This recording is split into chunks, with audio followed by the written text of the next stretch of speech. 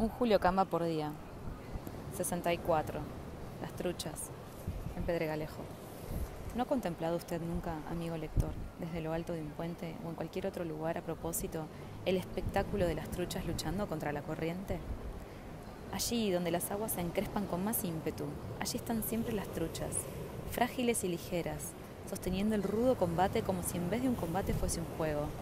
A veces, en una crecida, el río arroja todo lo que se encuentra al paso, arrastrando consigo piedras, barcazas, troncos de árboles, cabezas de ganado, etcétera, etcétera. Pero las truchas no las arrastra. Por fuerte que sea la crecida, los ágiles y valientes pececillos se sostienen siempre contra ella sin esfuerzo aparente. Yo he admirado toda mi vida las truchas, y no solo en el plato, sino en el río, su elemento natural, donde se me aparecían como un símbolo de lucha y rebelión. La trucha no transigía, la trucha no se adaptaba, la trucha no volvía la cara.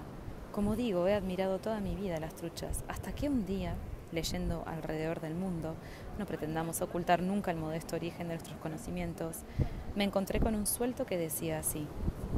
Los ríos arrastran en su curso toda clase de sustancias, en las que las truchas encuentran su mayor alimento. Por ello, estos animales siempre nadan contra la corriente. Esto decía el suelto de alrededor del mundo, y al leerlo yo experimenté mi primer desengaño político.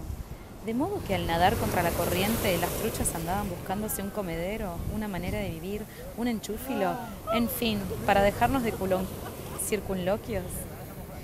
Y yo que había puesto siempre en ellas tanta ilusión y tanta fe, desde entonces ya no me fío de nadie que vaya contra la corriente. ¿Qué me voy a fiar?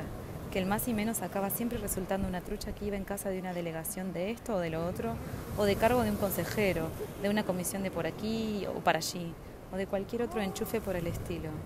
Acababa siempre resultando un trucha o un truchimán, y haciéndose completamente indigno de la simpatía que nos había inspirado.